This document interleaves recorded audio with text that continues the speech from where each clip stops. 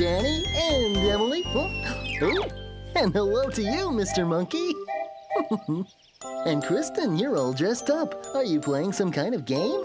We're playing circus, and I'm the ringmaster. Whoa. Just like the man in this poster. See? Uh-huh.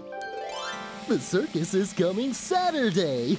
Oh boy, oh boy. the circus is so much fun with its amazing animals, astounding jolly jugglers, and clever clowns. so much fun. This is going to be so great. I'm definitely going to be there. Me too. I want to see the animals. And I like the clowns. I think mm-hmm. everybody is going to go. oh, sorry, Emily. I forgot. Aw. Oh, that's okay. Hmm, what's wrong, Emily? I can't go to the circus, Barney.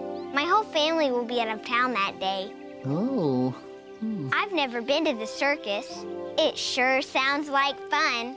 I wish there was something we could do. Yeah, me hmm. too. I've got an idea. Emily, if you can't go to the circus on Saturday, can you go to the circus today? I guess so. Oh, then we'll put on a circus for you.